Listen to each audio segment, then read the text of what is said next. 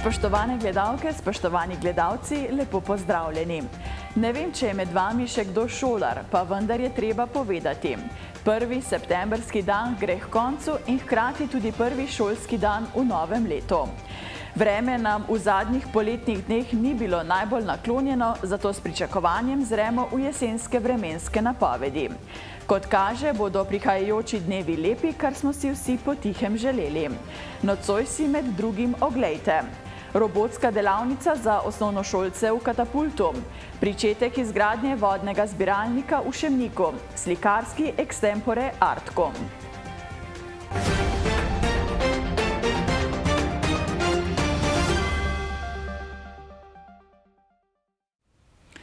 Trbovlje so prepoznavne tudi zaradi robotov in razvijanja sistemov za njihovo upravljanje.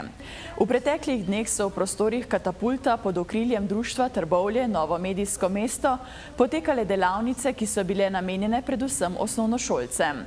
Spoznali so se z roboti Neo in njihovim delovanjem, sočasno pa so imeli možnost programirati nekaj ukazov. Delavnico sta vodila doktorica Maša Jazbec in profesor Žan Rajšek. Več o delavnici pa Maša Jazbec. E, tako je ja, zdaj e, premjerno tudi v Sloveniji, seveda v Trbovlah, no, e, izvajamo delavnico spoznavanje robotike in sicer imamo na voljo več robotov, ne, kar štiri robote, tako da lahko zdaj po skupinah udeleženci delavnic v bistvu vse čas delajo z robotom. Ne. Prvo spoznajo osnovne pač dele robota, vse senzorje, ki jih robot ima, motorčke, ki jih ima robot. Potem spoznajo program koreografiji, v katerem pač programiramo robota.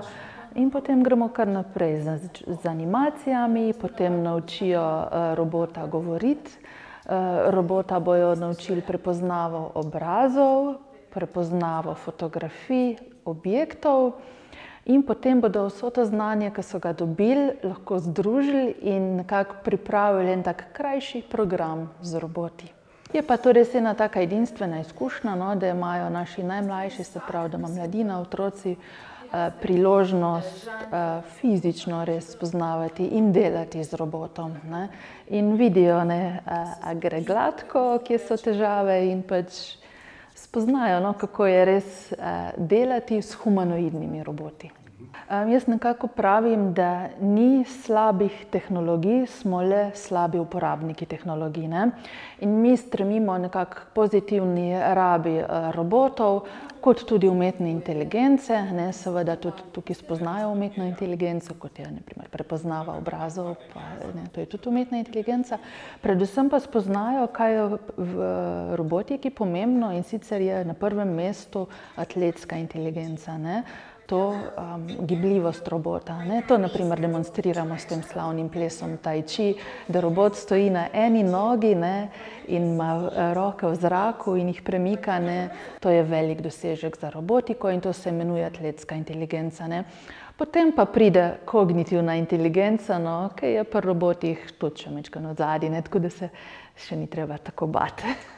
Eh, tako da, ja, da ljudje se nekako privajajo na robote in moram reči, da imajo kar pozitivno dno že. Ne. Mene tudi veseli na vsakem predavanju, tukaj pa predstavitvi, ne, za Savijo, ko vprašam, uh, kaj, kaj je njihova prva asociacija na besedo robot, se sploh ne pojavlja več beseda, sploh se ne pojavlja več terminator. Ne. Tako, to, mi je, to mi je zelo všeč. Ne. Vodno zajetje, ki oskrbuje naselje Kisovec in del mesta Zagorje, je ob vsakokratnih močnih nalivih povzročalo težavo s pitno vodo. Da bi se v bodoče temu izognili, so se na občini odločili za popolnoma nov zbiralnik. Več pa vodja oddelka za gospodarske javne službe Ivo Vrtačnik.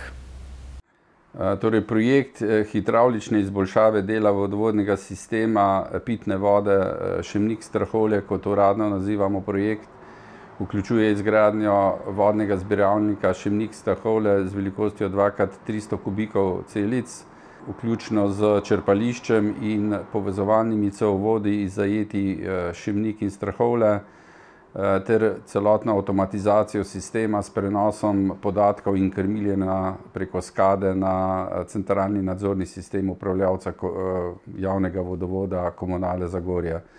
Občina Zagorje za oskrbo s pitno vodo Zagorja in Kisovca razpolaga sedaj z 2000 kubikov akumulacije, sedaj pa z izgradnjo tega vodnega zbiralnika izboljšujemo kvaliteto oskrbe pitne vode, predvsem v naselju Kisovec in delu Zagorja, ki oskrbuje skupaj šest tisoč devetsto prebivalcev. Težave pa do zdaj nastopajo predvsem zaradi intenzivnih padavin, ki nastajajo in s tem za dan ali dva zakalijo vodni vir Šibnik in posledično oskrba je najbolj motena oskrba v naselju Kisovec in delno Zagorja. S tem, z izgradnjo tega sistema kompleksnega z avtomatizacijo, pa bomo to težavo rešili. Torej občina se je prijavila na razpis na Ministrstvu za naravne vire in prostor v okviru načrta za odpornost in okrevanje, kjer smo uspeli pridobiti približno šeststo dvajset tisoč nepovratnih sredstev. In smo v v tem mesecu izvedli javni razpis izbora izvajalcev ter sklenili pogodbo z najugodnejšim ponudnikom, to je AGM Nemec, za izvedbo del, ki se naj bi zaključil gradbeno do konca junija naslednjem letu. Investicija, celotna investicija je vredna okrog ena cela osem milijona evrov, dela, ki pa se naj bi izvedla z oddanim razpisom, pa so milijon tristo štiriinsedemdeset tisoč brez DDV-ja. Kot rečeno, dela zaključujemo pa v naslednjem letu z oddajanjem poročila in črpanjem sredstev Ministrstva za naravne vire in prostor. Avto-moto društvo Izlake je tudi letos izbrano kot sodelujoče v AMZS akciji z naslovom Še tristo petinšestdeset dni. Namen akcije je opozoriti udeležence v prometu na pričetek novega šolskega leta in voznike opozoriti, da je treba biti v prometu pozoren na prisotnost otrok vse dni v letu. Na to sta opozorila tudi maskoti AMZS Anja in Marko v torek, devetindvajsetega avgusta. Več pa Bogoste Klasa. Danes imamo v gosteh maskoti Avto-moto zveze Slovenije, ki predstavljata posebno akcijo, namenjeno voznikom in šolarjem. Šolarjem zaradi tega, ker sta simpatični, prikupni, radi se, otroci se radi družijo z njima, voznikom pa zaradi tega, ker jim sporočajo, da so se vrnili na na ceste šolarji, se pravi s prvim septembrom, začnejo se odprejo šolska vrata in šolarji bojo z nami deset mesecev. Akcija tristo petinšestdeset dni Avto-moto zveze Slovenije je namenjena ravno temu, da vsak dan, vse dni v letu skrbimo za otroke in šolarje in seveda vse, ki so ogroženi v prometu. Torej, da jim posvetimo dovolj pozornosti, da smo previdni, pazljivi in seveda, da skrbimo za to, da je njihova pot v šole in domov varna. To je v bistvu akcija, ki traja že osmo leto in veseli smo, da lahko vsa ta leta gostimo maskoti. In nista samo maskoti tisti, ki označujeta to, imamo tudi silhuete, ki jih boste srečali ob poti, se pravi na uvozih na Izlake, Mlinše, na Vidrgi. In ko jih boste zagledali, se spomnite, da so z nami šolarji, da je treba voziti previdno in biti pozorni v prometu. Vsem vam želimo varno in srečno vožnjo, šolarjem pa srečno in varno pot v šolo. Jesen je obdobje, ko se pričnejo aktivnosti stopnjevati. Javni zavod za kulturo, šport, mladino in turizem iz Hrastnika je gotovo ena izmed bolj kompleksnih organizacij, zato so priprave na jesen in zimo toliko bolj intenzivne. Nekaj o njihovih načrtih nam je zaupal direktor Miha Mirt. Ja, lep pozdrav tudi vam in vašim gledalcem. Ja, seveda prihaja pač nova jesensko-zimska sezona, se pravi, prva stvar je, se pravi, da se odpre zimski bazen. Zimski bazen začne z delovanjem v ponedeljek, četrtega, četrtega devetega, se pravi, to je prva neka klasična stalnica, ki je, ki je v Hrastniku. Se pravi, druga stvar, na katero bi rad opozoril, je že enajsti kulinarični festival Funštrc, ki bo tudi letos pač potekal v Hrastniku, in sicer sicer soboto 9. 9. 9. Posebnost letošnjega festivala je, da smo se združili skupaj z občino Trbovlje in pa občino Zagorje, ter seveda posledično tudi občino Hrastnik in smo oblikovali nek, nek skupni mesec oziroma mi smo ga poimenovali kar Zasavski šporhet, se pravi, ki združuje pač poleg Funšterca še dve, še dve drugi kulinarični prireditvi in sicer 16. 9. v, Tr, v, v Trbovljah in pa potem 30. 30. 9. v, v Zagorju. Tako da, tak da to je recimo ena taka zadeva, na katero bi res povabil vse vaše gledalce in gledalke. Ja, mislim, kar se športne dvorane tiče, moram res reči, da ugotavljamo, da je športna dvorana praktično skoraj 100% zasedena. Tu govorimo v prvi vrsti do povdne, jo bi uporabila pač osnovna šola narodnega heroja Rajka za telovadbo svojih učencev. V popodanskem času jo koristijo, koristijo košarkari, koristijo jo nogometaši, koristijo jo številne, številna društva, ki, ki upravljajo rekreacijo. Tako tak, da kar se tiče zasedenosti, moram reči, da smo kar polni. Začenja se nova sezona abonmajev, se pravi otroškega in pa, in pa odraslega, se pravi o, o tem boste, boste vi oziroma vaši gledalci in gledalke vse prvočasno obveščeni preko naših družbenih in ostali, ostalih omrežij, preko katerih in, informiramo, informiramo obiskovalce, tako, tako da vsekakor bo pester program. Občina Hrastnik v sodelovanju s Krcem pa bo v letošnjem letu zgradila tudi novi pump track kje bo in kaj bo nudil. Ja, drži. To je bil projekt, smo, ki, smo ga, ki smo ga prijavljali skupaj, skupaj za občino Hrastnik, oziroma občina Hrastnik je bila v, v, v, tem, prim, v, v tem primeru uh, prijavitelj. Uh, uspeli smo, mislim, celoten projekt je vreden cirka 70 tisoč uh, evrov. Tle moram res povdariti, da je pač 100% sofinanciranost. Uh, na eni strani se je uspelo pridobiti okrog 28 tisoč evrov se strani uh, Fundacije za šport, uh, ostanek, se pravi, pravi, do, do te razlike bo pokrilo Ministrstvo za gospodarstvo, turizem in šport, ker je bila občina tudi, tudi uspešna na, na razpisu, na kar smo res, res ponosni.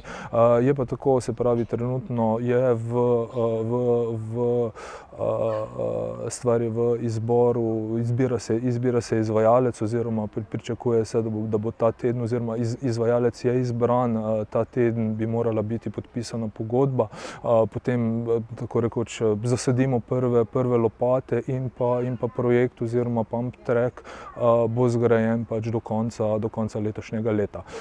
Postavljen bo na, na, na, na področju oziroma v neposrednji bližini teniških igrišč oziroma po domače na štircev. Zasavski muzej Trbovlje od začetka poletja deluje pod vodstvom nove direktorice. Muzej smo obiskali in spregovorili nekaj besed z direktorico Vesno Savič o stanju ob njenem prihodu in izzivih, ki jo čakajo v prihodnosti. E, torej, lepo zdrav. Ja, najprej, ko sem prišla, moram reči, da sem najdla stanje, e, rekla bom, zadovoljivo. Eh, seveda pa, tako tudi kot moji predhodniki, ne prav gotovo, eh, kar je eh, največja pomankljivost, je to, da smo zelo kadrovsko podhranjeni. Namreč mi delujemo na večjih lokacijah samo z tremi kustosi in pa z eno delovko, strokovno delovko, tako da je to kar, lahko bi rekla, pod minimumom no, za delovanje tako obsežnega pravzaprav muzejskega fonda, ki ga imamo uh, v upravljanju. Še v letošnjem letu ne, se bo prav gotovo um, odvila ena izmed razstav naših kustosov. Uh, to je kustos uh, Žiga Blaj, naš, uh, mlada, uh, mod, naša mlada moč uh, in pa uh, muzejske svetnice Nevenke Hacin. Uh, to je, danes je še to delovni naslov, to je trgovina v Zasavju. Tako da to bo otvoritev enkrat v novembru, tako da vljudno vabljeni. Prav tako v novembru uh, pričakujemo, da bo takrat uh, prišlo tudi na vrsto še nekaj. To je tretji del uporništva v Zasavju. Tokrat se bo zadeva lotevala predvsem literature, se pravi uporništva v literaturi Zasavja. Tako da tudi takrat boste obveščeni in uh, vljudno vabljeni. Eh, kar nekaj razstav še imamo, mogoče ste opazili, eh, par dni nazaj je že tukaj na ploščadi pred muzejem eh, odprta razstava pre, prevozna sredstva v Zasavju. tako da vljudno vabljeni, ko boste šli mimo, ne, da si malo ogledate, kako je to potekalo. Videli boste tudi par izjemnih prevoznih sredstev, ki so bile uporabljene prav tukaj v Zasavju. Tle malo cikam seveda tudi na našo prijateljico Savo, ne, ki je včasih prijateljica, včasih pa tudi ne. Kot veste, ob zadnjih nesrečnih poplavah v Sloveniji se je izkazalo, da depoji, ne, niso na primernih mestih, ne. To se je izkazalo prav tako v Škofjeloškem muzeju oziroma v njihovem depoju, ki pa tudi hrani del nacionalnega arhiva Republike Slovenije in pa tudi še v mnogih drugih, ne.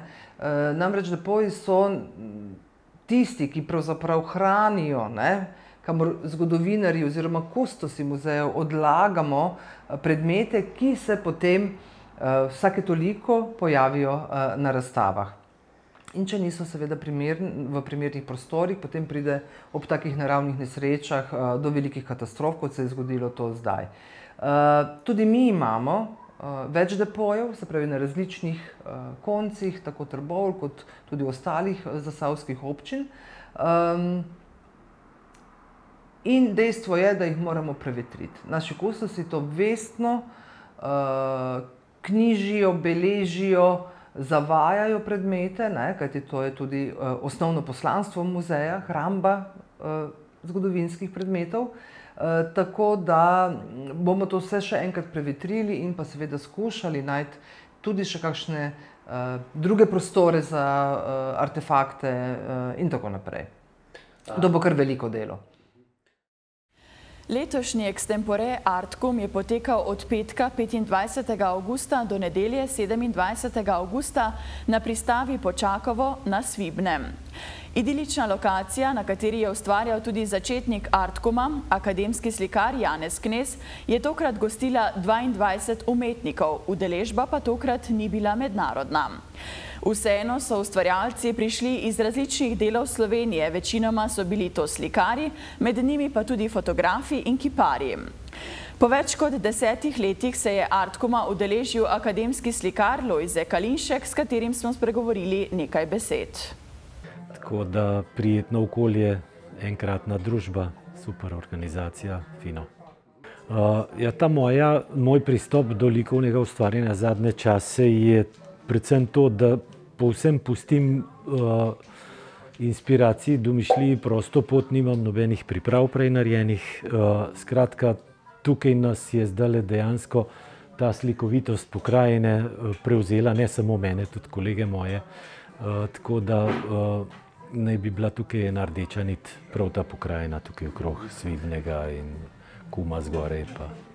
Ja, eno sigurno, upam pa, da dva, ne, da bi uspelo, tako pač malo kratek čas je, ne, ker s tole mojo tehniko je kar precej časa potrebnega, ne. In tudi rabi dozorevati, ne. Tako da včasih malo zaideš pa se malo vrneš, malo počakaš, tako da je to kar en tak malo bolj dolgotrajen proces. In tile trije dnevi so kar malo malo recimo, da si pol res zadovoljen s tistim rezultatom. Stalnica vsakokratnega Artcuma je sicer tudi razstava enega izmed udeležencev.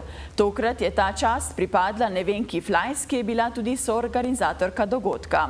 Njen stil slikanja je še posebej zanimiv, za nas pa je povedala. V resnici osnova fraktalne risbe je črno pisalo pa barvice. To je čista osnova.